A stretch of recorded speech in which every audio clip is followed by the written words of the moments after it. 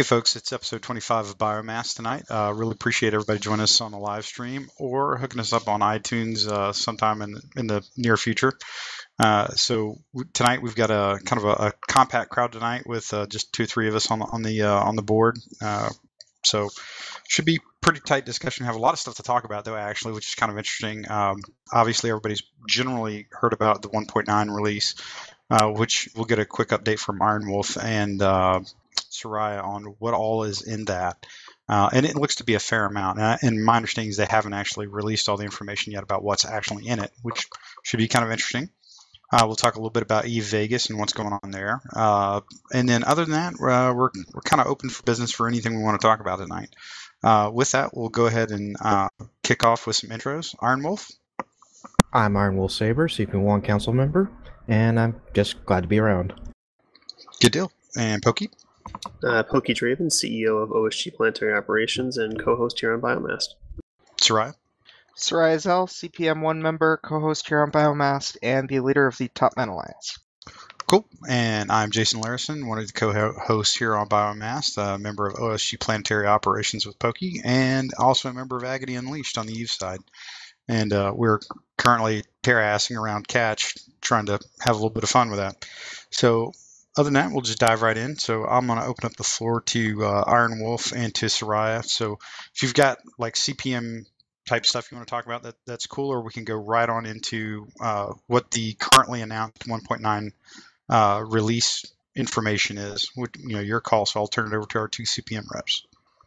All right. Well, it's really just been, uh, you know, we've been talking with them about 1.9. Um, obviously, for for a little while, um, we had uh, we had a meeting that uh, I, I, you know, we we try and be say as much as we can about meetings that we have, and we had, when we can, and I just kind of said we had a meeting with CCP Rattati. It was a good meeting. It was, I think I said it was a productive meeting, um, and uh, you know, he he gave us a heads up on what he was working on, and it was, um, you know, obviously uh, very very NDA, um, you know, but uh, we we were all extremely excited um, before and after that, and I, I, think it probably showed through on the forums um, if people were paying enough attention um, that uh, we we've been drastically more optimistic the last month.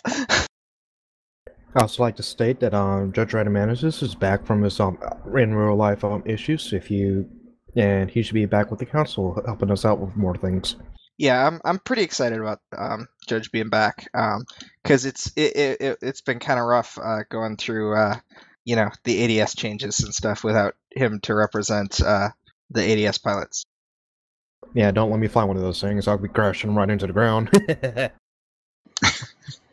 fair point. Fair point. Um, okay, well, if you if you guys don't mind, would you mind doing a uh, quick review of the publicly released information that'll be in 1.9? Sure thing. Uh, one thing that's coming up is the improved um, frame rates because um, we done figured out a way to uh, well we didn't do it CCP has. They CCP has figured out a way to uh, fix rendering a bit. So hopefully this would make means higher frames rate per second. And it, it's it's just kind of like slid in there on the patch notes as a thing um, but like I, I heard it was it, it does make a pretty big world of difference. I mean I, I can't say how much of one really until we actually have it on our consoles and we get to try it. But um, you know, I heard very good things um, about how much of a difference that the changes they made were. Um, so with any luck, um, you know, things like uh, the research facility map, I'm hoping especially um, people will have less complaints about after uh, they the frame rate increase. Uh, we're not going to quote frame rate numbers, so because we don't know how it's going to work in the wild. Uh, that's pretty legit. All right, what else you got? Well, because of the fallout of these increased frame rate um, projections is the reason why we're getting the new maps. Uh, one's uh, like currently we only have two maps if you're if you're really into the technical part of those. So we're getting a third one to accompany it. So this includes a bunch of things with it, like more little battle zones. So it's not just three, um, just a new map. It's going to be a bunch of smaller maps too, uh, battlefields that we're going to get with them. Then we're getting the Caldari production facility um, socket set being brought in. That's the one they were working on for you know like they, hell back in the, they, the winter, right? Yeah, they were making it um like Um, it images of it were being posted back in um, October of last year, actually. it Um, was supposed was to have al- been al- released in 1.8, if I remember correctly. Yeah, and it- then it, it- got pushed. yeah, it was almost it was almost done basically um, last year. Um, but it And was just it was just stopped up. working on it and like put everybody on Legion, right? Well, no, Uh, I mean it was that's not what it's about. I mean, like it's it was it was a performance issue. Um, It could have map- put it back in dust back then. yeah, I mean the the map wasn't you know they released you know when they were working on it they had just released the Gallente facility which you know was fairly similarly spec to my understanding and the Gallente facility was not working very well. Um, you know it's and a lot of people would argue it still isn't. Um, so it, it was very much a performance reason it was bumped. Um, I mean I don't think there's anything to say because you know that in the cases of map design would be oh well we can't we're going to stop doing this because legion because maps are something that can be used in legion um, and it, you know the the maps that are being developed um, are being you know they're they're in a higher a very high quality if you've seen some of the images of of the production facility that were posted you know it's not like they make these things to to only work on the ps3 this stuff is is art they can reuse later Okay, cool. Uh, is have there been anything else that's really? I thought there was like one or two small things that they'd hinted at. the sprint bug has been slain. Yeah, that was the that was the. I, how long has that been out there? Like, uh, 1.6, I think. um, so yeah, that that was a big one. The other one is they are actually going to have an actual delay on um on uh firing after cloaking after decloaking.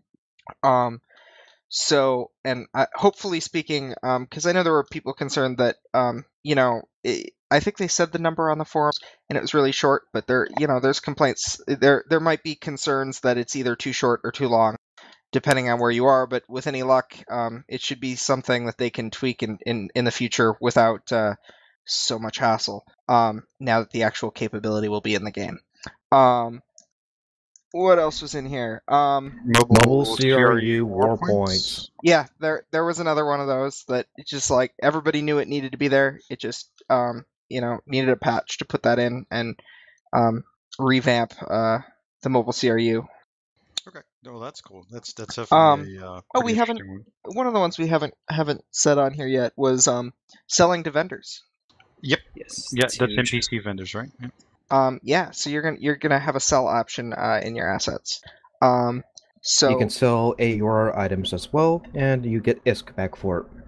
yeah, ISK back for everything that's sellable.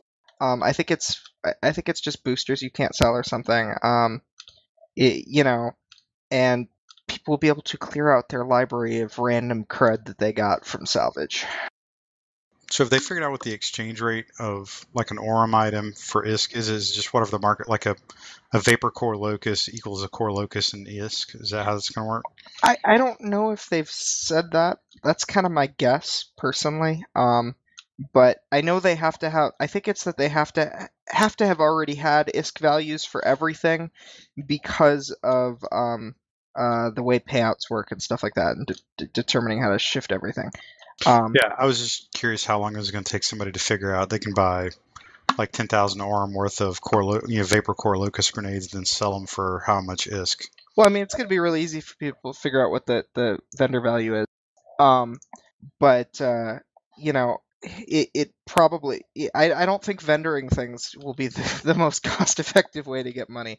Um, you know, Probably also, not. why are you vendoring the AUR item? It already is the required level you need it to be. No, no, no. What I'm getting at is um, it's it's an easy way to buy ISK. but you can already buy most of the things you can buy with ISK with Aurum, anyways. Yeah, Um, that's true. it, it, you know, to to some variation. Which then I guess it sort of strikes me as like, why are we like is um, it, it almost seems like it would be easier to get rid of Aurum and then just put an ISK value on everything and then let you buy ISK in blocks off the off the PSN store. Does that make sense? Y- yeah, I mean, That also assumes that the market is static, and it, if I mean, Well, it will be because it's a it's a single input source, you know, which will be from from the client. right? But is it? I mean, are, is is is the price of things going to remain constant, or are they going to get ambitious with it and, and have a market that can actually fluctuate based off of buy sell? Uh, The market will not be fluctuating. oh man, that'd be so fun though. It would be nice, but it's it's more trouble than it's worth right now. Yeah, That's probably all they could do just to get the NPC sell in. Better than nothing. Yeah, I, I mean, absolutely, and it's one of those where um, it, it's it's when you look at the original design choices for Dust, you know, it was very clear a lot of their choices were made with something much more grand in mind. So they they didn't put a lot of staple features and functions in that you would see in gosh almost any other game. Uh, selling to NPCs is is a great example of that. That's something that's as a matter of course is in most games, but it was not included because you know I, I think originally they re- they truly had a serious vision of where they wanted to take the game. Um, it just obviously has has not proven to be the case. You know something they can get to, but uh, having an NPC sell function would have been you know gosh I wish it wish they'd had that going back 18 months ago, 24 months ago. Anything else? Is there, is there any other mechanics or um, I, I guess you know kind of classic uh, hotfix style rebalancing activities going on in this one? I, I assume there probably will be. We're going to mostly avoid hotfix style type fixes. Most of the fixes will be client side only. So, I mean, well, client side required, so to, so to say. Um, we're going to be saving all the hotfix type fixes for the next hotfix uh, Right. cycle. It's you know we've we've we've got a patch, so we want to focus on things that can be that need a patch. Um, so I don't think you'll see a lot of actual balance changes. The the only reason you you've got like the cloak fire delay is because that that actually requires a client patch to fix. No, that's legit. That, that's you know, if you've got, if you've got potentially one window, only use it to fix what you can. Now, obviously, you can't get into specifics, but is there potentially more to this update than just what was listed in that dev blog, or is that Um, pretty much the, the gist of Th- it? That's that not the complete patch notes. Okay. And we're gonna Please get look that forward to before the additional dev blogs. Yeah, Okay. there there will be there will be posts. Um, uh, Rattati will be writing lots of things. Nice. Want charts? Lots of charts. I you know it's Rattati, so I, I I would assume there has to be charts and graphs, but I don't know. I mean, it's also CCP, which is you know charts and graphs is kind of their bread and butter. Well, it's always refreshing when I see changes based off of actual statistical data rather than whims. So, you know, I was- reti- I was just watching a video about how uh, balancing based on statistical data was bad. is I that saw what that video. doing? It's, it's actually pretty accurate. That, that's a good video. Is it specifically for Dust or just in general? Yeah, yeah, we're, uh, we uh, watched Pyrex's video. Okay, I'll take a look at that. Well, if you think about it, it goes back to what uh, it's like. I know I've said it. I, th- I think Bam said it. Heck, even Denny has said it on more than one occasion. Um, you know, you, you have to be very careful with only using numbers because inevitably what happens is the numbers in your head won't work the same way as they do actually on the screen when you're playing. Um, but just based on practical application. So, yeah, from that aspect, I, I can kind of Yeah, kind of get behind I mean, it isn't balanced just on numbers. It it is you know. Also, it, it, it it's just that numbers play a big part in it, and if there's not, if the numbers aren't representing it, then the point is to figure out why the numbers aren't representing it. Yeah, I mean, there's definitely a level of interpretation and doing that properly, which is important. It's just before I felt like a lot of times they weren't even looking at the numbers at all. So seeing a little bit more of that is, is good. But I, I get what you're saying that doing it entirely off of statistics is not a good idea. Well, Rattati does have enough sense to be asking people, it's like, why is this, why is the number I'm looking at so freakishly high, or or just the, or it, why is this number the, currently the outlier amongst all of them? It's like for a while he wanted to buff the hell out of the scramble rifle, and it's like, why is this not so popular? And it's like, uh, because not many people like the um, semi-automatic function. Well, it's I mean it's it's a harder weapon to use, but it rewards the user if you actually get into it. That's I mean, which is not a bad thing. And had he buffed the hell out of it, it would definitely have been wound up easily in God tier. Well, yeah, and and that's one of the things when you look at balancing writ large. I mean, I actually like a lot of the things Rattati's done. There's there's some I truly don't understand though. Like I, I'm willing to bet that I you know whatever statistical numbers he, he has shows that like you know the proto rail rifle is you know tops of the pops, but it, it just doesn't feel that way when you actually play with it though uh, compared to other weapons. Yeah, I do. I do. I personally feel that the rail rifle has fallen quite a bit from from when it was a fun gun, but uh, I mean, my assumption is honestly is a lot of people is that uh, you know you, you have to account for things like rail rifles and combat rifles where uh, when they when they came on the scene there was probably a lot of people that sunk you know one to three million sp into it the day it came out or within the first couple of days of it coming out. So there's a huge like pl- individual player sunk cost into it. So they're going to continue to ride that weapon uh, and because that was really the only i mean once you really got past the the uh, ar or the plasma rifle rather then they added the scrambler, which was still uh, has always been a fairly low use weapon, but again rewards players that really get into it. I think it skewed the numbers a little just a little bit just because those you know the, the combat rifle and the rail rifle were the newest of the two. Uh, so I think it kind of, in a way, artificially inflated inflated what their statistics really should, you know, really should indicate based on overall usage. Oh, another thing that didn't help out is that all their starter fits had the um, plasma rifle at the start. That, so that is very true. Yeah. New players could have gotten confused and um, continued training it. Yeah, no, I, I think that's. I, I, I, like one of the the big things. One of those. It sounds small, but a big thing that he did was start out with uh, adjusting those starter suits. I thought that was really really nice. That was a that was a good push. Yeah, trying to get it more thematic has definitely done done quite a bit of help. It, it helps convey the um the environment much better. Yep. Well, uh, well, I guess my question overall, guys, is um, you, I, it sounds like everybody's very, very happy with the 1.9 uh, as it is right now, which I, I, would agree. I mean, I think that's great news uh, that they're actually putting something into it. But uh, you know, what I would offer now is, can somebody from CCP, like anybody, talk about what their like vision, their plan, their you know, I hate to use the word roadmap, but I am really struggling for another word. Um, what they want to do with dust, like over time, it could, like somebody like actually with the word CCP something in front of their name. Eh, that's gonna be a tall order. I know who to poke on for that, but I, the question of them will they be able to say anything is um, it. I overall, I want to put it up to chance of actually getting a real response out of them. But uh, it's something we uh, CPM could try to push forward, see if we can get out. Well, I guess yeah, yeah, I mean, do you see my point with it though? It's like um, it, it, the last thing we heard about the future of Dust from members from actual CCP employees. Uh, and things that we've also read from CCP employees in media interviews or gaming gaming interviews uh, was that there would be no more resources put into Dust, and there was no more new content in X, Y, and Z. Obviously, plans change, and, and I think we're all very happy with that. I'm just I'm looking for like any indication that somebody could come out and say, "Hey, look, guys, you know, this is all stuff that we wanted to do for you for a while. Let's put it in there." Uh, but your focus is still over here. We may or may not six months from now, you know, put in another client side update.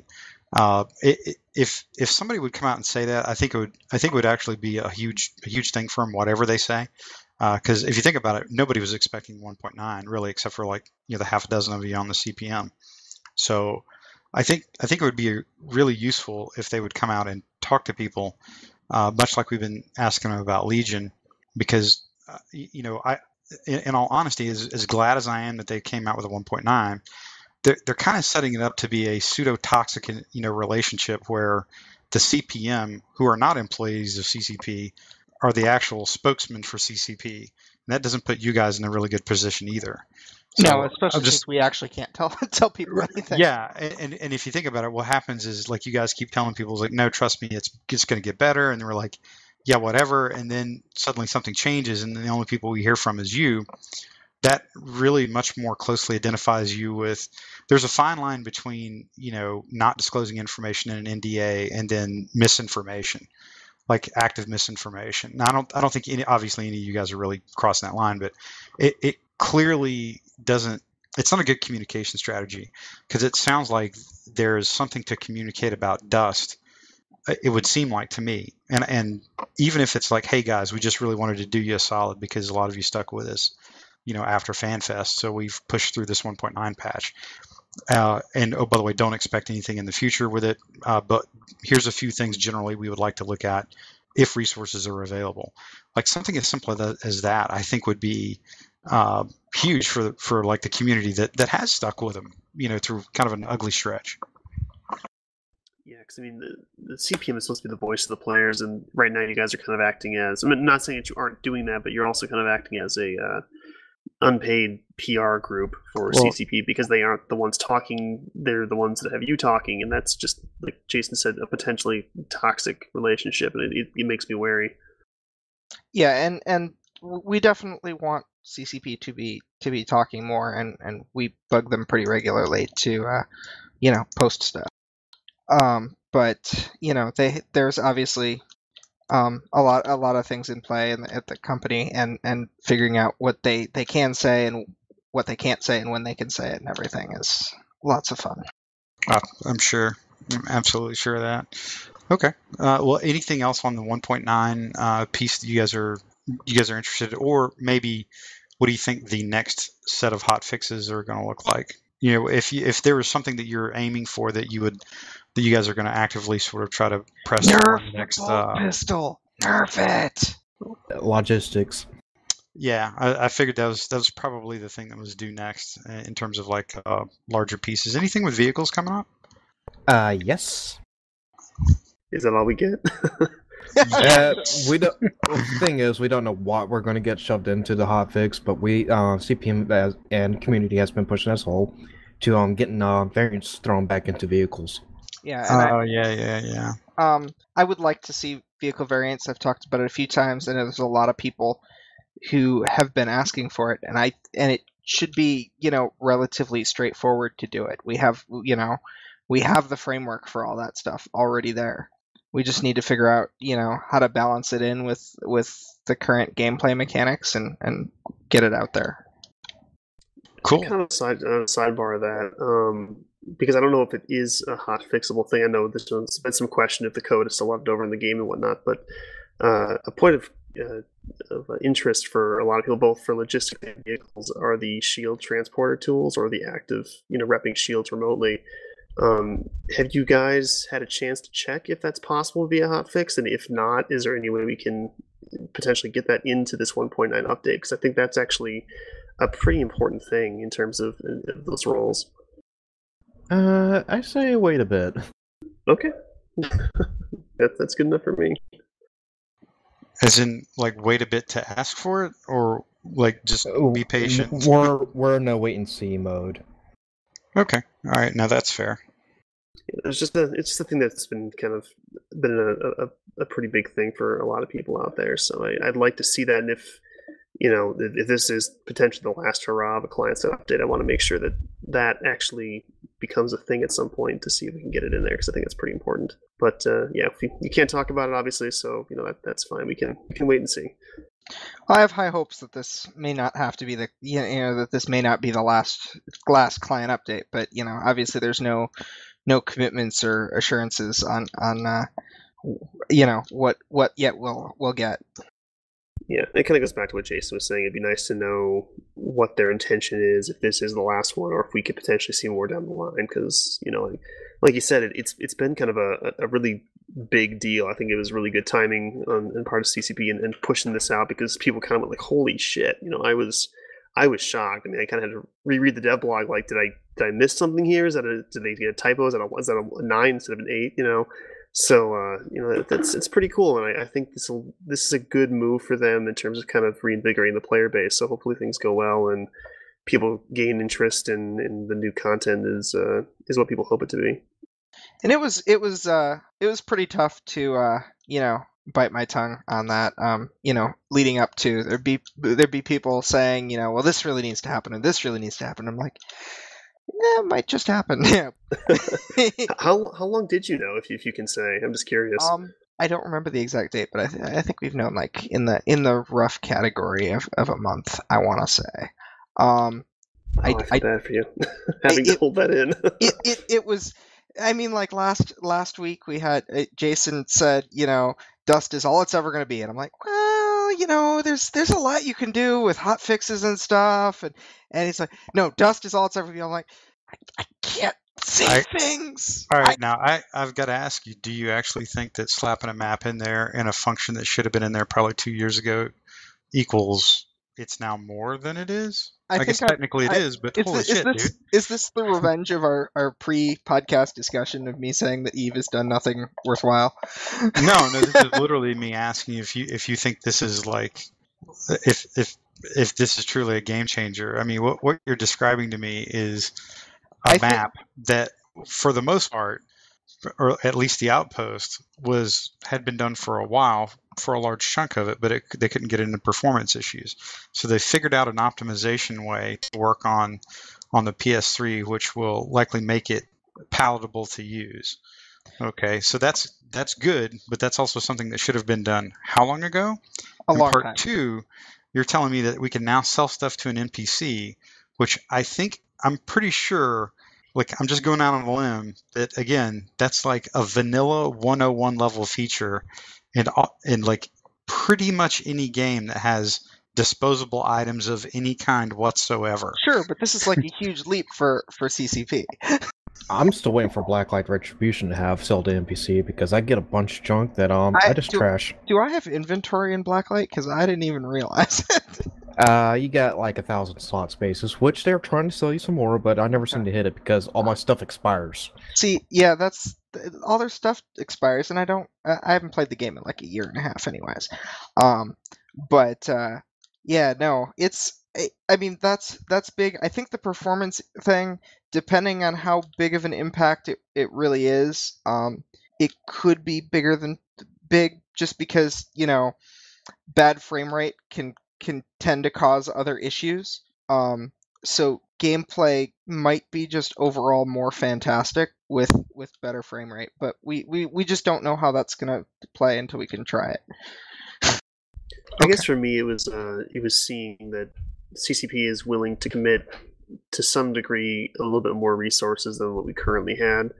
And in my mind, I kind of accepted that you know the people working for Tony that was going to be it, and you know that that was all they were going to get. So the, the fact that they're putting in an update is obviously a bit a bit more than that. So that's encouraging. Where would they actually go with it in the future is up in the air, obviously, but.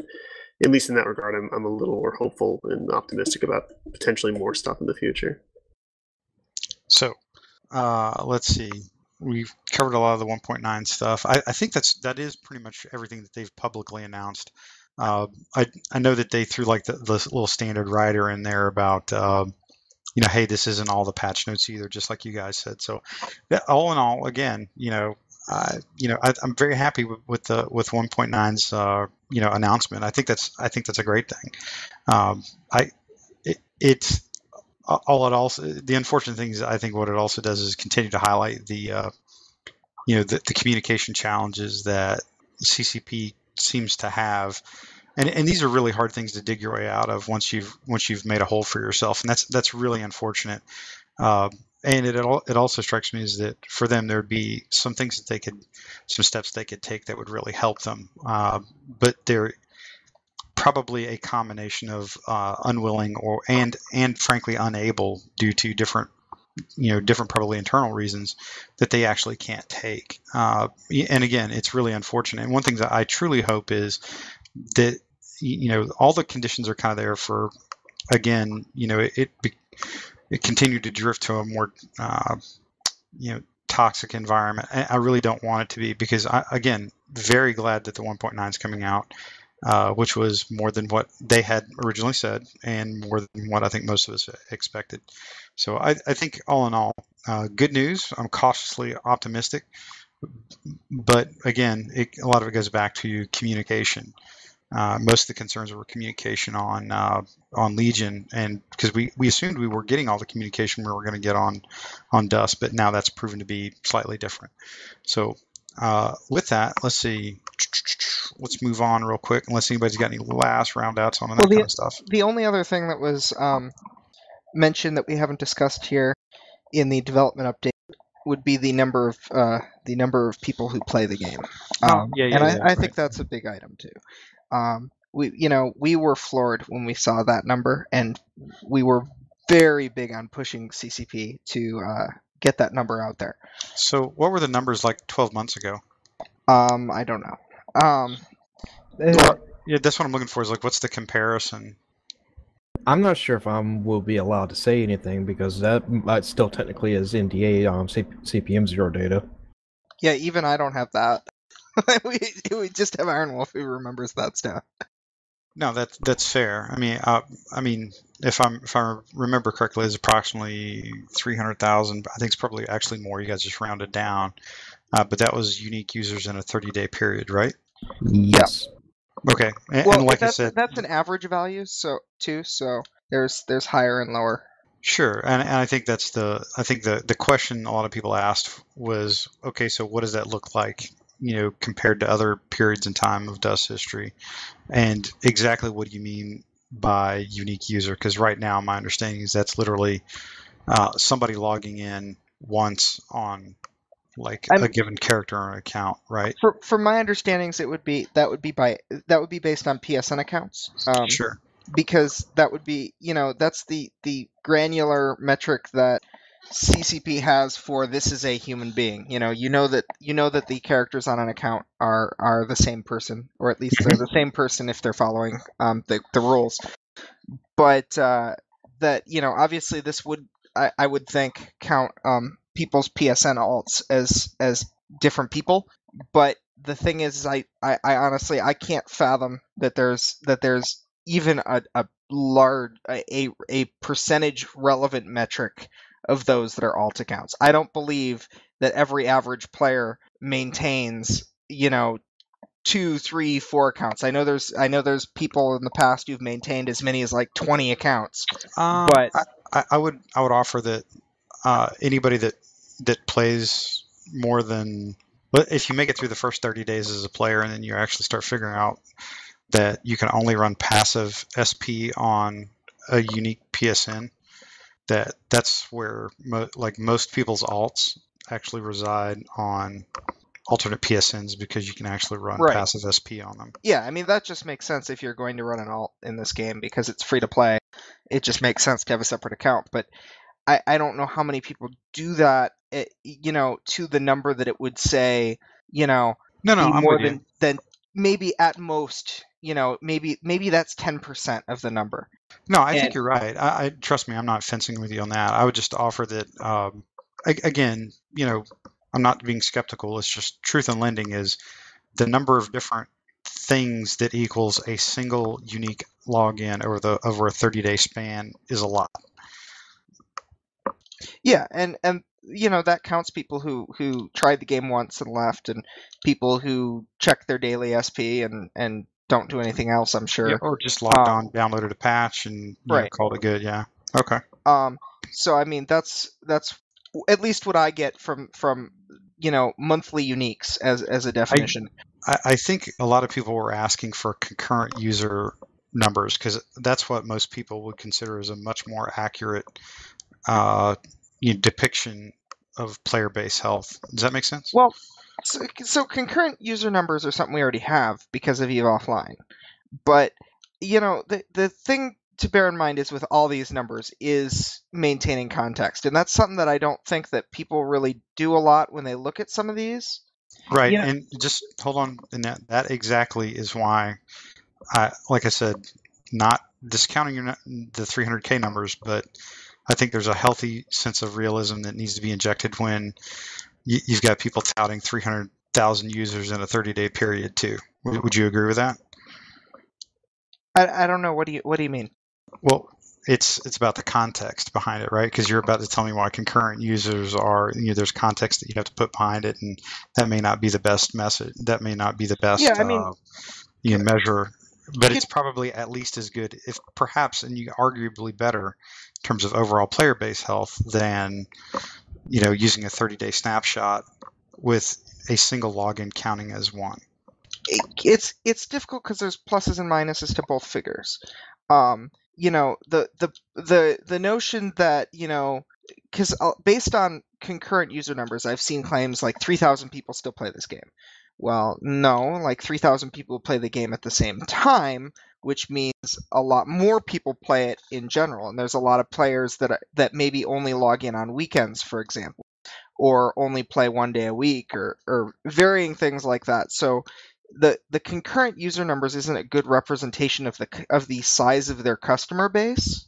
Um, all right, hold on. We'll define customer. Like somebody that pays for something, or somebody that Um, downloads a free to play game. I guess I guess in this context it it would be it would be player based, not not customer based. Um, I suppose though it, it you could- Content providers. Sure.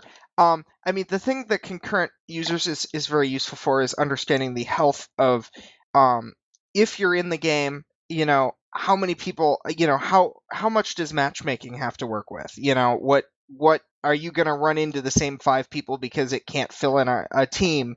You know, and some of that is again with context because you could have, you know, a thousand people in the in the queue, but you may still come across the exact same people a lot due to both matchmaking and the fact that people, you know, tend to be locked into the same match for 30 minutes at a time, and everyone from that same match comes out at about the same time. So there, there's a lot of, uh, of ways to interpret the numbers, and I think having more of those numbers out there is good. Um, I don't think people. I, I would love to have something like more like a daily uniques figure would probably be more relevant to me to to help explain to people that yes, there are this many people who logged into the game today, and that it's not a 3,000 3,000 people at a peak time equals 3,000 people play the game. Um, but that's you know yet another number. I will say this, and I hope it won't be too NDA breaking, but I have seen the extent and context to where they take these numbers and what they've used them for specifically. And that 300,000 number is highly realistic because of, of of the things I've seen in the past. But as Troy said, it, there's always um, there are people who are just going to be like um, like you said, they have they have alts, they just log in uh, there are people who join the game and they quit, and there are people who um, just um, play the game like normal. Eh, But the thing is, though, CCP has context of what those numbers are and what they mean, so they know all the people who are quitting. They know the people who Right. just log on and um, check check their mail and log off. And they know people. Um, they don't exactly know everyone's alts, but they know that people are just logging in just to do something real quick and log off. And it's like, okay, this this might be an alt person. I mean, they, they got idea what the numbers mean on So- end. Well, an interesting question just came up in the Skype channel. I've got to ask, well, why? Well, this is this is probably this is a tough question for, for me to ask CPM members, but why is CCP so disinterested in sharing any numbers like this? Because most other online games are very open with their numbers in terms No, of they're not. Uh, I don't know about that. Or let me put this way: they're very open when the numbers are good. Let me let me rephrase that. and that that is a major problem with a lot of the industry. They stop posting numbers when uh, they start to look bad, and it gets really difficult to keep websites such as uh, MMO Tracker um, up to date because um, a lot of these companies stop posting. Hey. They'll ha- they'll have the Hollywood moment where they just recently launched, everyone's in love with the game. Then a month later, it just all starts going to shit. and and even even when even when the numbers are good there you know there's there's business reasons sometimes to be hesitant um you know but i i my personal feeling is that it it's rare that providing you know providing the the information is it really er, turns out to be a bad thing because I, I in, that's in the lack come of down inf- on it. Yeah. yeah in the lack of information people will invent their own information Well, I mean, let's let's look at it this way. Um, for using Dust specifically, I don't think anybody, uh, like there is nobody out there except for perhaps the most naive or uninformed player, believes that this thing's truly competing with, you know, like AAA paid titles out there. Like it's not. Uh, it's a very very small niche game. Which I think we all obviously enjoy because we're sitting here on a podcast talking about it. Um, but I don't think anybody that plays is fooling themselves that, that, that thinks that you know th- there's going to be these huge numbers. But I think it is probably good at the state right now. It would do better to show uh, more statistics and, and really the whole like a better picture is told when you when you show the uh, the individual logins over the 30 day period and then like average uh, you know daily or weekly concurrent users those two numbers in conjunction with each other tell you a much better story either one taken by itself can quickly lead you down the road the road of you know tinfoilery, if if that you know makes sense. and and there's a you know the the thing too that I think is um, important pertaining to knowing that the numbers are there and what you can do with them is if you have 300,000 people who have logged into the game in a month that is 300,000 people yeah, and if that's an average then you could predict that somewhere around 300,000 people will log into the game next month. And so what that offers though is potential to get those people to play more. Um you know So- right, if but I someone think we- we also all agree that- unless CCP does anything with those numbers in the form of development of the game, there's it's still going to be like what a 99% turnover rate, if not higher. Um, you know, free to play games have a huge high, high, a huge turnover rate as is. I mean, True. the the thing to bear in mind is that it's it's not hard to to meet or beat the industry standard when you look at the fact that you know, like for instance, the the actual um the actual people who buy in, I think is is an average of like for free to play games in general is like two percent of players. So like one out of every fifty players for, plays basically has to pay for the other forty nine to play. Yep. No, I, I'm with you, man. Like I said, it, it's just one of those where I think um, is you know, as you guys said, context is everything, and I would just caution anybody about uh, being overly uh, smug about those numbers because you can poke holes in them very quickly. Uh, just like you guys can use them as a uh, an argument or as a uh, you know a descriptor of how healthy the game is. It, it- you know, so just kind of just offering that generally because I've seen some comments from some people that were, um, I think, a little over the top when they announced the the when that dev blog came out. Was it Denny? Denny was feeling smug. I remember Denny feeling smug. And you're saying that he doesn't feel smug at some point during the day? Yeah, when doesn't you not feel smug? Yeah, he's he's honestly like one of my least favorite people to get information from, just because it fucking definitely wants you to kiss the ring to fucking have him tell you anything. eh, I wouldn't say that. I would. I, I would definitely say that. Um, okay. Well, kind of. Actually, I think we covered a lot of really good information that came out in that dev blog. Uh, by the way, that was a pseudo CCP Rouge sighting. At least his name was on the piece of paper, which means he looked at it and approved it. At least wrote it, maybe a stretch, but that was at least we we have some sort of pseudo proof of life. Well, I can't even call it proof of life, but uh, at least his name was mentioned in a CCP official document somewhere. Yeah, the blog would not have happened without him, though. He he's he he was was definitely a big part of it. So That's good. That's awesome.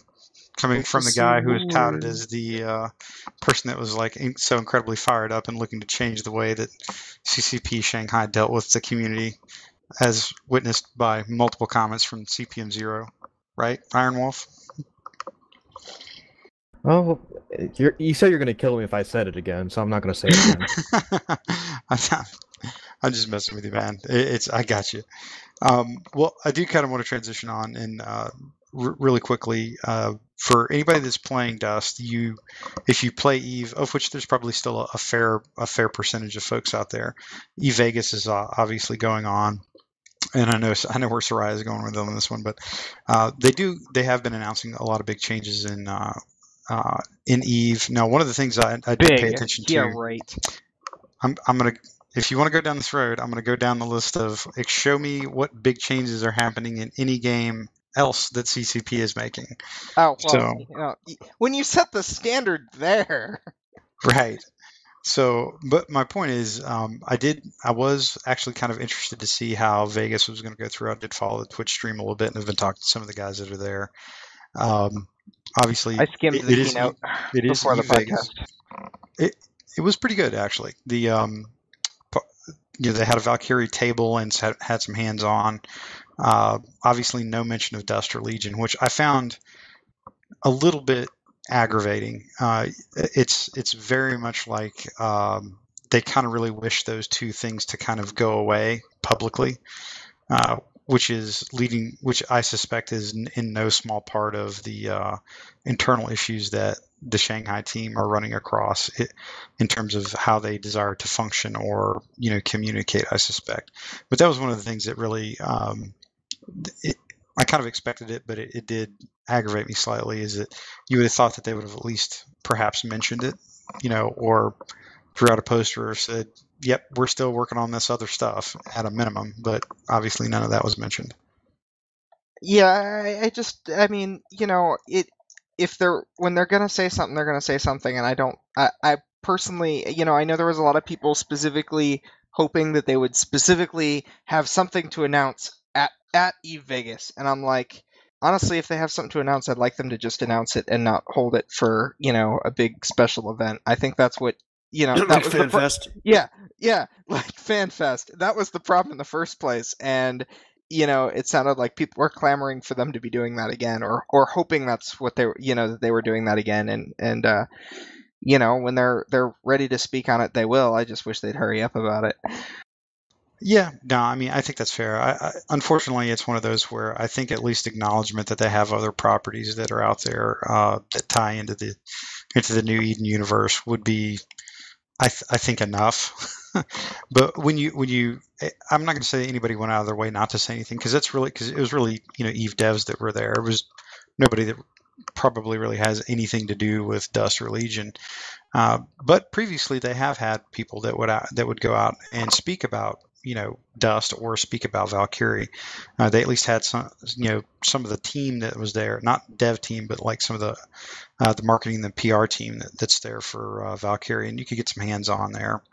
So I'm not asking for hands on of Legion, but I think at least a a mention of it uh, here or there would have been probably kind of nice, I suspect. But anyway, they did announce quite a few other things happening in Eve, and I know uh, like you know, Sarai's going to say say that nothing's happened in Eve since like 2011. Since And- and- 2011, Incarna was the last was the last content that Eve got. and I will I will offer that anybody that plays Eve more than enough time to like just set their skill queue, then log back off. Update skill queue, actually- and I don't have to do that anymore. That's I am That's so excited about Phoebe. I, I, I can't even. I, you know, I I can get rid of the phone app. I actually already uninstalled it because it was uh, draining battery, draining battery. So I, I removed it because you know, um, as soon as as soon as Phoebe comes out, I don't ever have to worry about my skill queue again. I can set like everything up until I know like every skill in the game level five, and then just log off and not care. True. And for the record, you now sound like Kane Sparrow. And then I will have successfully won Eve because you do know that that is the only way to win Eve. Is to stop playing completely? Yeah. Uh, well, but he's not winning Eve because he's still paying the money and skill and logging the skill queue. I won't have to log in though, so I will be winning. I will still be paying the money for no, some you'll, you'll, you'll be tying. reason, You'll you'll be like pulling a straight a straight tie at that point. So anyway, the some of the the big things coming up in Eve, which and why does this matter? Big. Why does this matter to Dust for Legion? It, you never know. Like I would say, probably eight months ago, it would have mattered probably more significantly. But it's interesting. Uh, one of the things I found a parallel to was they're changing a lot of the power projection stuff, like the ability to move from like one side of the universe to the other relatively easily. And that was one of the beefs that we talked about with PC was their ability to project across the galaxy like essentially instantly. Well, it's not quite instantly in Eve, but you know, with a very well organized high end alliance, they can move from uh, one end of the map to the other in probably 12 to 15 minutes through a series of cyno chains. Like basically, for lack of better terms, it's horribly incorrect here, but like a series of um, targeted wormholes. Let me put it that way. That that are player created. There's a lot more. There's a lot more tech and lore that goes into it because it's not exactly a wormhole, but anyway. Uh, but one of the things that, that led that I found very fascinating in terms of a parallel between Eve and uh, particularly the, the PC, you know, the high end PC world of Dust was that power power projection piece where you could have like a limited number of people that could control a lot of stuff based on their ability to move around the map. Well, uh, what it created was essentially a big blue donut in, in nullsec, which is not dissimilar to what it started to lead to in Dust. So basically, what they did is they really took a ginormous nerf hammer to the ability to move that easily, uh, either a that fast, and b they created, uh, you know, without going into a lot of technical detail, essentially uh, a fatigue mechanism where you can make jumps, but the more that you jump in a certain amount amount of time, you get an exponential sort of jump fatigue You know what else they created? character. No, go ahead. They also created a giant threadnought. 400 and some odd pages. it's Holy yeah, shit. it's it's the new uh it's the new capital ship class. It's the threadnought. Yeah, it's pretty legit. The uh, but it, it was pretty interesting. So it, and there's massive ramifications, and one of the biggest things it'll it'll really do is the the big nullsec blocks. The, one of the things that other than their ability to to project offensive power, um, or offensive or defensive power for that matter, is was their ability to actually sustain their empires uh, through like jump freighters and all this other kind of jazz. Well, that that really dramatically gets gets whacked too. Not as bad as the combat ships, but it's whacked pretty good. So it will definitely change. I think the political landscape of of Eve, which Yeah, is it won't break probably the good. CFC. It will make the CFC smaller because I, Um, well, if you already talked to the CFC guys, like they would tell you that they already know that there's certain areas that like they can't get down to to help. well, I mean, like That's ter- the problem. I mean, like territorially, it might be smaller, but I doubt you're gonna see, you know, them not be the force that can win any war from this. Well, no, Um, I think the, the issue right now is that they're they're not going to be able to move uh, because what what's going to happen is I think it's actually going to make everybody more defensive. The theory is that is that it it will limit the larger coalitions, and it and it truly does. Uh, Sure. bigger the bigger problem they're going to run into is the is how are they going to be able to move and make big offensive moves against each other, and they're really Right, not. So but CCP's theory is is it would actually create It internal limits, political fractures. but it you know it limits everyone, and so the the biggest players are just going to be the ones that are most able to cope with those problems because Sure. they have the most resources to do so. So you know the the the, the highlight point here is not that this is this is going to fix nullsec because Oh, it's not. not. And they've What already it said that, by the way. Yeah, right. But, but you don't really is, pay attention it's- to Eve it's the- anymore, so but yes, you would know this. It's the it's the first step to redesign to a redesign. I'm just Sure. gonna call this a pandemic legion nerf. That's but th- th- that is what a lot of people call it, by the I, way. I guess it could be, yeah. That they they tend to to do more running around than others. Um, but yeah, I mean, I, I could definitely see your point that it would just make people tend to uh, keep their keep their supers at home where they need them. Um, Well, they, the the issue is they're they're not going to be able to move them fast enough. Is the problem, and and, and that's and by the way, not everybody thinks that's a problem. Like I, I I would just offer that it, you know, as you as you indicated, this is one in a series of um, fairly well laid out changes that they're laying out that will probably change a lot of the face of how Eve works. Uh, and they've actually, you know, and I will have to give CCP Seagull credit. Like once she came on board, their communication to the players has been dramatically different. It was not necessarily bad because a lot of people were talking to people and it may, may not necessarily have been as organized, but it very clearly seems like there is a a you know an information campaign that is out there uh, from the devs because they're all basically talking the same language. but there's still nothing that laid will out- attract new players. Well, I, not yet, but they are they are clearly working on it. But I would also offer that like be careful that you throw rocks, CPM member. Shh.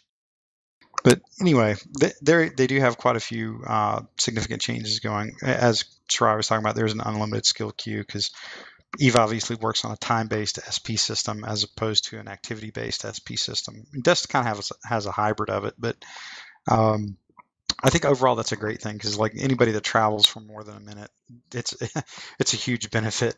Um, I, I definitely prefer active SP uh, personally, but um, I think if you actually tried to do that, like if you actually tried to put in an SP system based on doing things in in Eve, um, I, I think I think the veterans would, would just throw up their hands and, and I, stop I think off. I, I think in all I- honesty, uh, it would be very difficult to install an active SP system in in Eve because of the amount of things that you you can do. Does that make sense? All the exploits. the, the exploits. Yeah, I'm gonna shoot my best friend hundreds of times over, and I'm gonna pay him every time I do it. A lot of people did that in faction warfare, by the way. the uh, but th- there are a lot of things going on. I mean, they've made ginormous changes in, in industry and invention, which I know Pokey's all about.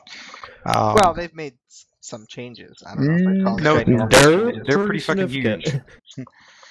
and there there's more coming, and that's the that's the big message. The um, multiple sell orders, which is really good if you got like a ton of like low ball loot, like like really like meta level one loot. It's a, it's Uh, a trash button, is what it is. yeah, pretty much. I I mean, which uh, frankly is, is a heck of a lot lot more convenient. Um, let's see, they, they are doing a very significant uh, in space UI over overhaul, like a very significant one based on But like, how- the videos Space Radar. chats. Yeah, Yeah, but everybody pretty hated the first one, so I'm not sure. Like everyone hated that feature in general, so I'm not sure how well it'll be received. Mm, the new not one, on It's- the threads that they've. seems like you they're haven't making it more useful thread, now. Like, No, I'm, I'm Oh. telling you, like you're you're you're not seeing this. You're not reading the same things I'm reading. Then Well, no, I meant like the, the the- when they first put the sensor overlay out there. Like I want to say this isn't the sensor overlay. It's this a is like space your radar. actual HUD. It's like your actual heads-up display. yeah, but I mean like the the first step for that was was very poorly received. This is this sounds better though. Um, it looks like it actually has practical use. Does bookmarks. Yeah, which, which is huge. bookmarks is that's one of those that I've wanted to be able to just see where things are for forever. Yep. I mean, but like I said, there, there's th- this is step probably 2.5 in a series of steps that they've laid out that they're going to be taking on, um, and, and this is as close to have as laying out a an actual roadmap for Eve as I think they've really come in years. Uh, but it's it's a pretty lockstep piece, and, and Greyscale even went down the kind of went down the line of what are the six major components that they have to change, and it's I I think that this is actually going to be good. My impression right now is that there's um, you know CCP we can we poke a lot of fun at them, we throw a lot of rocks at them, but the reality is you know that you know they, they have survived in an industry that is littered with you know companies that have come and gone. And i my impression right now is that they are actively seeking to foment change and re-energize different components of, of their business particularly and really anchoring on the new eden ip and it- it's probably no small point out there that things like elite dangerous you know star citizen and uh, any number of other We'll potential eat CCP's lunch and put them out of business. say again We'll eat CCP's lunch and put them out of business because they look like they were made this year. I'm seriously glad that you are a CPM representing any game that any player of CCP actually, any player of their games. I, I just I, I think from from I think their concept their where they are in a space game CCP has a lot of work to do. I'm, my, I think my point before you attempted to troll and failed was that I think they realize that, and they're uh, and they are significantly attacking that problem.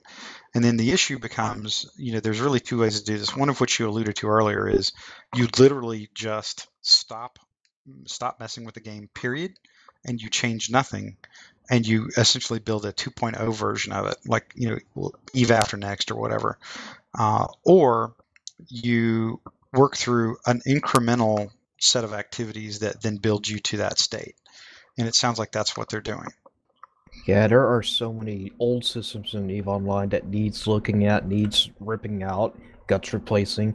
It's not even funny because there are just some things in EVE that the developers don't want to touch with a ten foot pole because nobody knows how it works anymore. Sure, but they're Yep. all they're they're all the spaceship content thing, and uh, working on working on spaceship combat is not. I don't think is productive. I think it's in a good enough state that they should be working on the universe building aspects that actually make people want to want to try the game. Mm, okay. Well, that's where building your own Stargate comes in. Well, there's that, but I, I'm now, mind you, that's that's so that's the one Jesus feature that they've they've stated, and they've given no indication how this is supposed to work. It's to me, it seems like some sort of almost like a hybrid idea between wormhole space and and null, but you know, it's just okay. Well, we added some more space and a new way to get there. Um, you know, it's not like of new people I've seen trying Eve or interested in Eve. Those selling points have been, you know, I there were a ton of people who came to Eve to tr- because of Incarna. As bad as a, of an expansion as as it is um, put for being, a lot of people went to try it. And you also had, and the the other thing I've seen a lot of people come from and expect, and still come to expect, is wanting to see the Dust Link and this connected universe that they were selling until they decided they I, I don't know if that they couldn't do it and that they were just gonna um, make every game good independently or, or you know whatever the blog say the, the blogs say. Um, I, I think that's where the the the importance is if you want to to cover not just being a spaceship game which i don't ever i don't really believe eve is at its core. Um, if you want to be you know the the fantastic MMO that it could be. They need to focus on building out the the universe past the spaceship game. Okay, I don't disagree with you. Because uh, I mean, like for the record, Star Citizen, it basically promises to do what Valkyrie, Eve, and Dust all in one, individually. Yeah, in yeah. one integrated game. Um, of course, now as I say that and make that sound like it's going to be really cool, and I, I, I, have given them money. I've said this before. Um, Star Citizen is going to fall flat on its face. It's going to be hilarious. It's like watching a train wreck in slow motion, but uh, it's going to make a ton of money in the meanwhile. They just hit like fifty-six million dollars or something. Um, you know that that that they've had people pay them for a game that doesn't really exist yet beyond what is effectively a couple of tech demos stitched together. Sure, I I, I don't disagree with that. I I mean I, I don't I'm not quite sold on Star Citizen. I think it's uh, you know either going to be brilliant or it's an incredibly well designed and well executed scam. Um, I'm still laughing at the flashlight incident. Details? Okay, Star Citizen had this flashlight on your character, well, why are you going flying around in a spaceship? This flashlight will come loose and kill your ship, eventually. what? That's that's awesome. Or, or, is there a video of this? Because I have to find it. Uh, it was a bug on the forums that they had to hunt down, and it's like, why are these ships blowing up after five hours? That's hilarious. That's awesome, is what that is. That's a feature. Well, if your inertia if your inertia dampener were to suddenly turn off in mid-flight, then yeah, I can imagine a flashlight killing your ship, as well as you splatting against its side, painting it red. Mm-hmm. Well, that's isn't that Eve's plan for implementing ship painting? Maybe oh, for Blood goodness. Raiders. Well, I, I suspect the, uh, you know, like I said, there, there's a lot of things out there that's probably driving them to change. But again, you know, the reality is that they are at least actively taking steps and they're communicating with the player base what their intentions are. And right now, you know, they have followed through with everything that they've said that they're going to do, uh, at least in the last, you know, three, you know, named releases, which are, you know, kind of a patch, not really like a full release. Uh, well, patches. again, I'm gonna I'm gonna I'm going to point out that if you want to troll, you really need to go do your homework because, like, really well informed trolls actually can troll. Like, now you're just throwing poo. Uh, but they've actually had some pretty significant changes over the last two or three, and they're attacking them in I think the, the issue is depending on what you do in Eve, they, they literally, to your to your point though, depending on what you do in Eve, some of those uh, patches or releases may not look like it's doing a lot because it may not affect you directly. But the people it does affect, like whoever plays something or inter- interacts with things that they've been changing, I think they would all uniformly say that they've they're, taking a pretty good pretty good whack at stuff right now. But let's see. All right, moving on. Any other E Vegas notes? I'm checking real quick. Um, yeah, they, I mean, they obviously did release. They're going to have some new T3 stuff coming out. Um, which would be kind of interesting. That was kind of a neat little uh, in-game uh, in-game event that they ran to to generate which race was going to get the the new T3 ships first. I thought that was kind of cool. So I was I was really expecting T4 ships to be behaving like what the destroyer is going to be behaving. I, I think that they're so far from actually having a complete Tech 3 that there's zero point in talking about a Tech 4. Well, no, but they're not going to release a complete Tech 3. They, I mean, they don't even have Tech 2 versions for some some of the bigger ships, and the reason why is because if if you tried to make like a Tech 2 Super, it would be kind of ridiculous.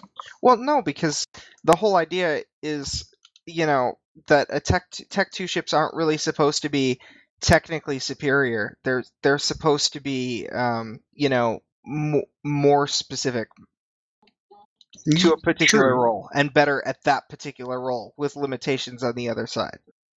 Yeah, Well, no, absolutely. Well, the reasoning for my Tech 4 comment is because the way the destroyer functions entirely differently from the cruiser, because the destroyer transforms mid mid combat on its rolls, whereas the cruiser can't. You actually have to go dock up, change the subsystems out, sometimes even rip rigs out, and then refit the whole darn thing. But the destroyer just like click, I'm doing it on the fly.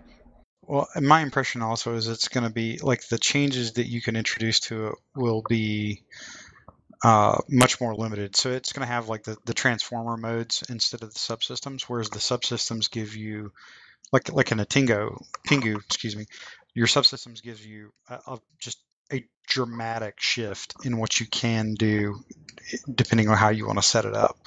Uh, whereas I think your I think your your choices will be limited with the destroyers. It's basically three presets is what it sounds like. Uh, which Yeah. now the good thing is that you don't have to mess around with skilling up for different subsystems, and you don't lose clone SP when you get blown up and potted, which is a major drawback to you know running Tech three, Tech three stuff right now in terms of the Strat Cruiser.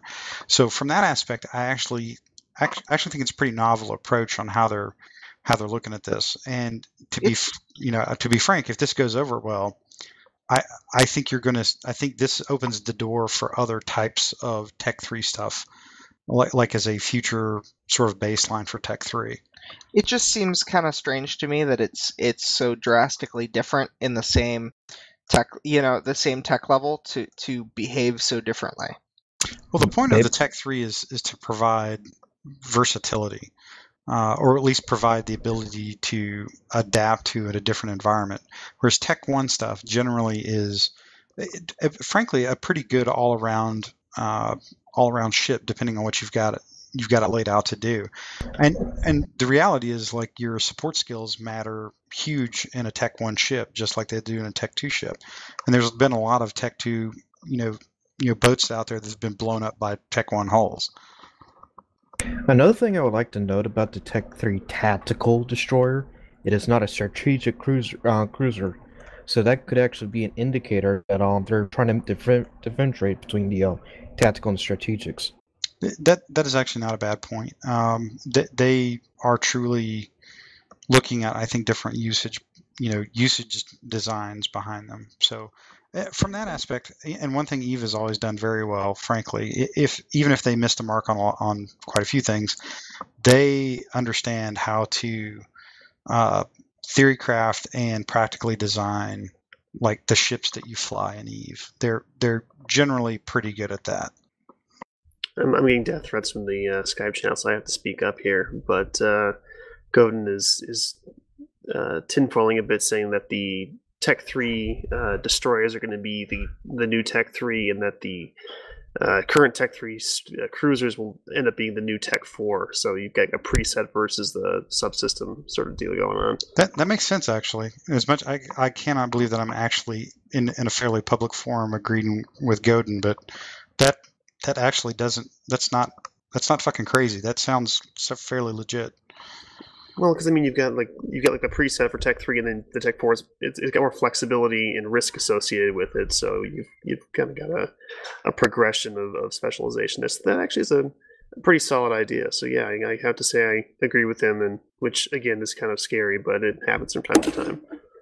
I wouldn't mind a tactical cruiser. Yeah, no, I could t- I could totally see that. Now I will say I will tell you this though. I don't I would not expect Tech three slash Tech Tech four. We'll just call it the new Tech thirty four. I would not expect any of that uh, above the battle cruiser size though, and, and I'm not even sure they'd bring it into battle cruisers.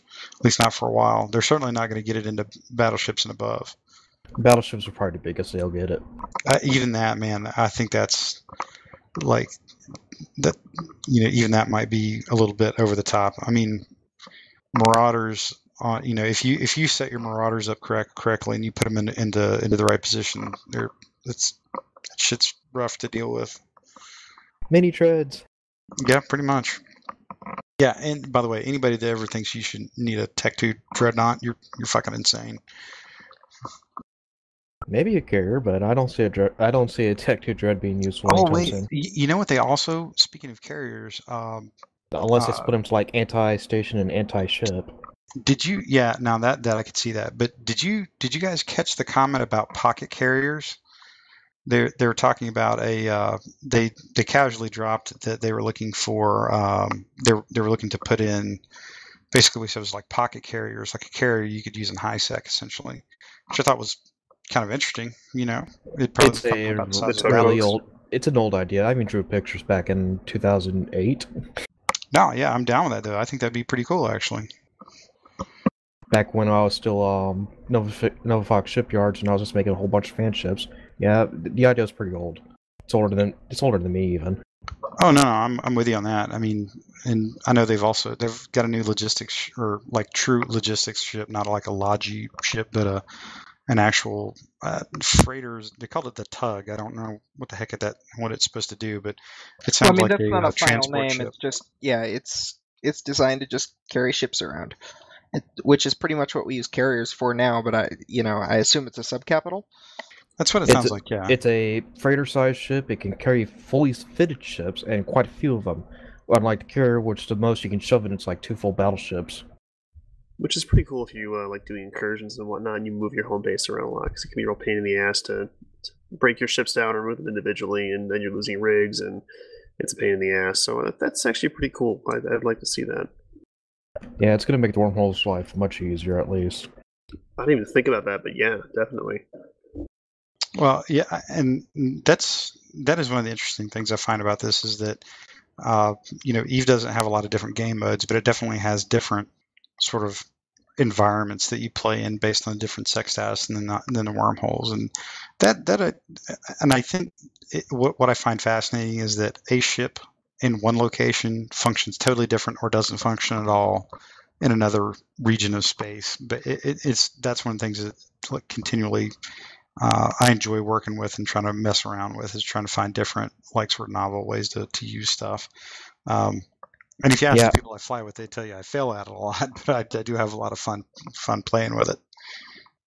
Yeah, I have to agree that the culture cultures between various places is very interesting to watch and observe, and sometimes even partake partake in, because like if the shenanigans that happen in high sec, um, there's different factors of that. Then you go to low sec, and like all the rules change, and then you go to null sec, all the rules is also different there. And then you go to wormhole, and it's like it's like Mad Max out there sometimes.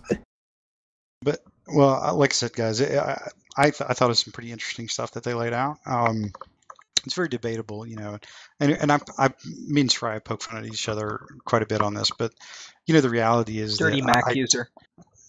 yes, but we do actually. I, I don't think if you're interested in you know Dust Legion, Valkyrie, Eve, whatever, um, the reality is it's all it's all wrapped into a CCP game, and and as much as we poke fun at them, we generally poke fun at them because we want them to be successful, um, because that directly feeds like what our our desired gaming community is. So, uh, you know, don't take us too seriously. Uh, other than the fact, unless you agree with me, then frankly, just take me incredibly seriously. Then, but Hey, um, it, it's overall we, we generally I know we poke fun at different CCP games, but the reality is we like I said uh, we, we want them to be successful, and it's easy to get frustrated sometimes. One because we've I think we've been playing CCP games for so long, and then it just seems that um, feels like potential- even longer than it really is. it probably does, but you know, I think what, what I, I determined uh, earlier today, I was I was thinking about it, you know, before you came on the show. But one of the things that aggravates me, and this is one of the few, they're one of the few gaming com- companies that actually gets me involved enough in their products to actually get aggravated. Like I generally don't get aggravated at other games; I just don't play them. You know, if they start to get me that way. Uh, but it's the potential is so huge for what what they put on the table um, that that's generally what keeps me coming back. And and here's and here's what I, I would just offer to people generally is that I personally think that nobody at CCP wants to do a bad job. Everybody wants to create and actually make real. I think what their shared vision is internally, which is probably very huge and extremely technically difficult. Um, but they keep reaching for it. Now they fail a lot, or they grab the wrong branch and get some thorns in their hand or whatever. But at a minimum, I, I think they keep driving forward for that, you know, that, that bigger, that grander vision, which, you know, like I said, as ugly as it is sometimes, I have to give them that. And I, I absolutely applaud their effort because frankly, that's generally what has kept a lot of us playing these games for a while. So um, with that, guys, I, I think I'm about culminated. I don't know if anybody else has any points, but if if it's okay, I'd like to go ahead and move into shout outs unless you guys had any last minutes. Them Quafe suits. Yeah, but get, do you have do you have your Quafe suits yet? Yes. I will not buy pink and purple. You must. They're fabulous. They have They glowing are green eyes. fabulous. I've noticed that pe- pe- um, when wearing one of these suits, I've become a bullet magnet. hmm Yeah, but it's a BPO, so why do you care? Well, I, th- I think because it's a BPO, it's not fun. Well, let me put it this way: because like I just like I said, if, they would like for twenty one was it twenty one thousand Aurum right for the mm-hmm. BPO? Yeah. Okay, for twenty one thousand Aurum, I would really like like something more than like a standard level BPO, frankly. I, I I really don't think it's it's uh, combat effectiveness is the reason you buy a Quafe suit. I think you buy a Quafe suit because you want to look fabulous on the battlefield. Yeah, I mean, I mean, this is coming from me who said I'm not going to buy the Sever suits because I already have the BPOs of those suits, so it's pointless to buy them. And then I went and bought all the Quafe suits because they're purple and green. So Okay, Yeah. all right, let's all right, let's let's think through this. How much real money is twenty one thousand Aurum? Uh, that's it's about ten bucks. Ten Yeah. bucks. Yep, I spent forty bucks on purple and green pixels. Not Judge as you will. No, no, trust me. If it was something, if if if it was if it was different, I would I'd probably be cool with it. But you know, uh, I just I don't know. I, I just I like I like the fact that the I don't like the fact they made it a BPO. That's really what I'm I'm beefing about because I really liked the very limited edition low run stuff that's floating around because I thought that was that was very cool. See, you know, I like I having didn't it really I low into stuff. because I wouldn't use any of them because I knew I couldn't replenish them. Oh, it's all Warbarge swag. Warbarge swag, frankly. Yeah, I don't load into war barges anymore, so And see, you're right. You barely see the warbirds. You see a heck of a lot more purple suits now than you did when it was only the BPC. That's fair. No, oh, you, you know what? You totally just reminded me of. I've said this, I think, in passing on the show one time, but this is actually probably the point where I, the like, probably the one very few um, askers that I would really like the. This is just my personal pitch for the CPM to take. Uh, I would like Navy issue drop suits or you know militia issue drop suits they made those ten dollar pack or those nine dollar packs, um, you know, for the, all the different four the four factions. They had a slightly like a kind of a unique color skin on them and all that kind of good stuff. But they were like your standard advanced and proto suits. Like in Eve, like when you you've got like the T one stuff and then uh, like a a a tweener fit, like something that's like the faction fits basically. If they could do faction fit drop suits, I think that would be the bomb diggity. They've already got like all the artwork down because they're all the stuff from those packs.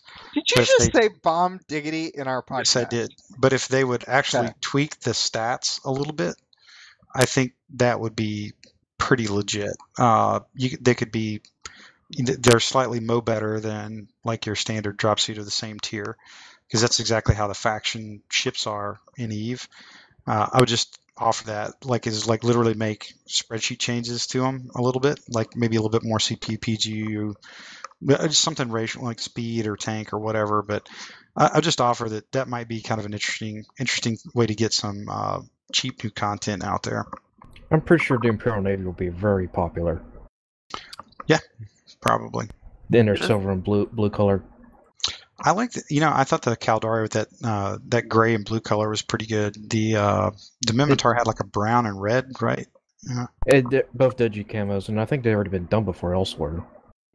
Yeah, yeah, but like, like I said, that seems like that would be a really, uh, like a really keen way to, to a add some some variety in terms of the drop suits, other than just raw color. There's actually a stat difference, and then B, you- perhaps, just saying perhaps that the only way that you could earn those is through faction warfare. Just throwing that out there. Well, we, we, we kind of had that with the recruiter uh, BPOs you could get, where they were, if I remember, slightly different. Like I think the the basic recruiter assault suit had like an extra PG and a little less of something else, so it wasn't exactly the same. And there were actually some fits at the time I could only do on those suits, which is kind of cool.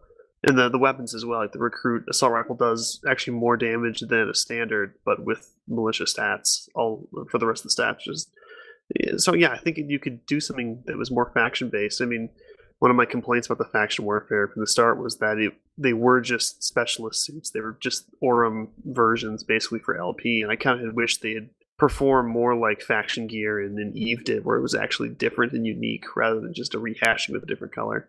Yeah, and the beauty of that is it's literally just like database changes. I mean, you, you don't you don't have to change anything else. It's uh, you know it's the classic it, it seems to me, or I mean, it's probably more difficult than I think, maybe, but off the top of my head, it seems like it'd be one of those that would fit really well into like a faction warfare focused hotfix. Like I said, just that's that's my that's truly my one my one pitch to the CPM about a like a serious you know ad or idea. Faction suits. Hmm. It's not not a lot of power words coming back. I'm just we're, we're thinking. I'm not. I'm not going to say I'm hurt. I'm just going to say I, I was. I was hoping for more of a verbal high five for my bros, but that's okay. well, while we're in there, you guys can just do the pirate suits and make Jason very, very happy. Okay, now I'll tell you right now, I would, I would, I would consider not using a Mac at least for two to three weeks if if there's a pirate but pirate drop suit that was introduced. Here, here's your chance. To, wow. You can you can break him away from the evil Mac, and and if you just give him pirate suits, you have to do it now. Oh wow, that's that's a that's a tall order. Aren't you going to stop if it's? Aren't you going to have to stop if Legion it, it doesn't support Macs? no, because it because Diablo three uh, currently supports Mac, so that's probably where I would go. Diablo three, huh? Now, yeah, I, I mentioned that. Has that game gotten any better? Oh, well, I don't. Well, yeah, I have, I have absolutely so. no frame of reference other than what you told me last week, uh, Iron Wolf. So I've been nosing around on it. It's it's you know it's definitely you're right. It's definitely different than Diablo One, uh, but it, it, seems like it's a pretty pretty slick. You know, I it's have, a clicky game, but it's. I have slick. Diablo Three, and I've actually never tried it. I actually do own it, but I've never tried it. This sounds like most of our Steam libraries. Um, you know, I, I got it. I never had any interest really in trying it that much, and then people said it was bad, and so I just never got around to it. Nah, the so. in game's bad, or was. So it's fun to play through for a little while. Yes, it, it, it's enough. It's good enough for the um, first pass through. That's fair. Uh, I mean, uh, like I said, I, I'm I am not entirely sure. You know what? Like, cause my gaming time is very limited, so I usually can only really manage two games pretty legitimately at any one time, and that's usually like a, a huge split in time. So uh, it's you know I have to kind of pick and choose, or if I if I'm like off for a week or something like that, I can dive into another game. That's usually great for console games. So you have so you have Dust and, and Eve, or do you have room for other games? Um, well, what I'll what I'll usually do is I'll I'll stop playing one or the other those two games for like a week, or, or at least four or five days and, and try it out. You know that kind of thing. Uh, what I've what I normally use as a time filler though, like when I'm traveling, um, there are some really really good uh, tablet games out there, like some surprisingly good. Yeah, there are really deep tablet games out there. But I, am willing to bet you have those. an iPad though. I do. Yeah, it's pretty limiting on what sort of uh, awesome you can experience. I, am sure it is, but at least it doesn't report to me via the NSA like your shit does. Uh, no, they all do that. Um, you'd be surprised. you'd be surprised too on who doesn't uh, report to the NSA. Yeah, like seriously, they're they're not allowed to tell you that they report to the NSA. Mm, well, I'm just I'm gonna remain mute out of like I, let me put it this way they used to they used to offer on the apple statement a they they made a a statement that said we do not report uh, you know, we have not been um, forced to give any information to the FBI under secret order, and that line is gone from Apple's uh, reports. Well, that's true, but anyway, uh, like, like like I said, if I ever want to tell anybody the NSA anything, I can pretty much just send an email to anybody from Google, and I'm good.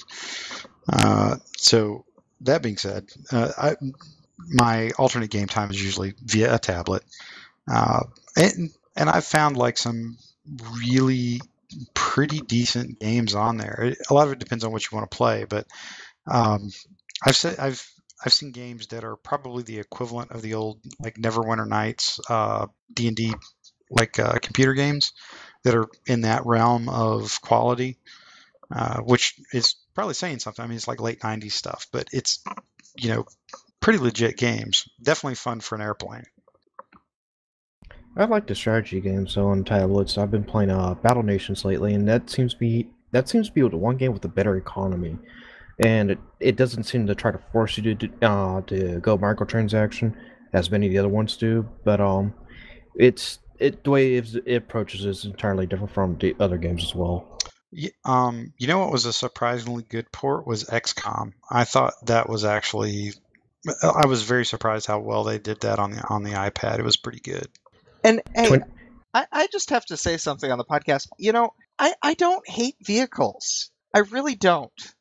You, you like blowing Sure- them off sure and never do. dying from them. That's that's about what. You, No, what I, I don't Mhm, hate vehicles. mhm. I actually I actually made a post where I, I argued in favor of vehicle users. I felt very bad afterwards for having written it, but I did write one.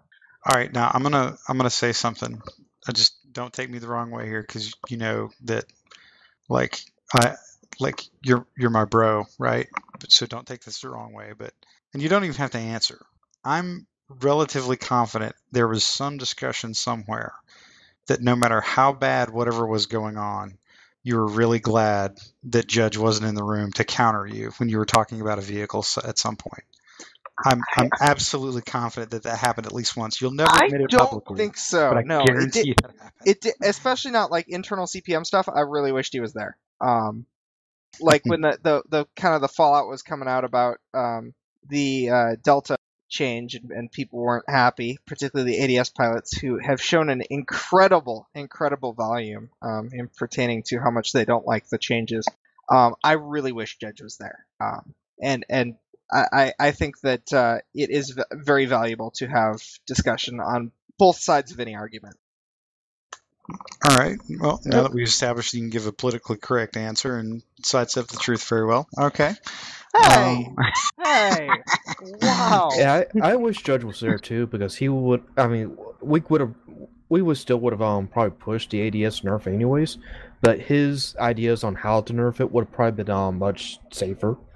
That, and that's that's kind of what I, that's honestly very true. All kidding aside, that's uh, that's the beauty of having people with uh, equally valid but very opposed uh, viewpoints that can approach something from a fairly unemotional and logical standpoint. So I, I think that's actually that's actually a really good point, Iron Wolf. The uh, so with that, I, like anybody else got any shots for the week? Anything? Anything? We'll save for next week. Fair enough. Okay. All right. Uh, we'll go ahead and kick off some shout outs here. Uh, Iron Wolf, you're at the top. We'll go ahead and lead off with you, brother.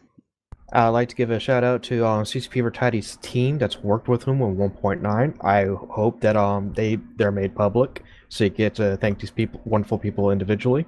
I also like to give a shout out to um uh, the new folks that who invited me to their channel on uh, Shaken Babies.